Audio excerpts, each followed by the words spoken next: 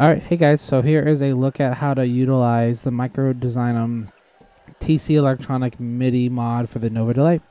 Here we go.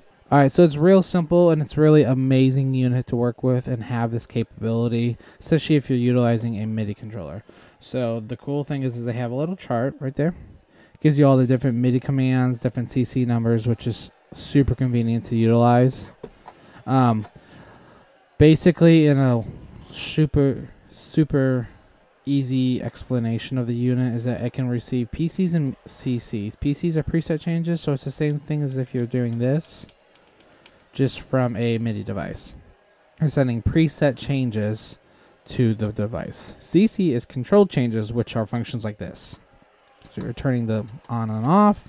You're sending it a tap tempo. And as you can see that the tap is very accurate. And then you can save it if you want to save that MIDI clock tap tempo in. It can also receive MIDI clock, so you could send it a clock from a quartz or from a timeline, or for something or a from a timeline could also send it, or a PVC which has a MIDI clock inside, or a Musicom or an MC8, MC6, or MC3 by Morningstar. There's a lot of different versions of clocks that you can utilize and send to it. Also has banking up, so it'll cycle through sometimes to find that command that you need to use. And then like here, I'm going to go all the way down. So it'll take a few seconds, it will cycle through and it will find the command that you're trying to send it.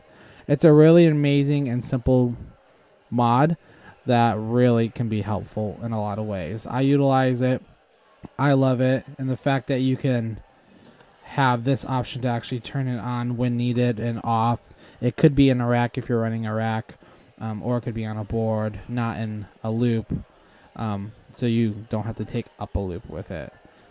That's it. Real simple. Have a great one.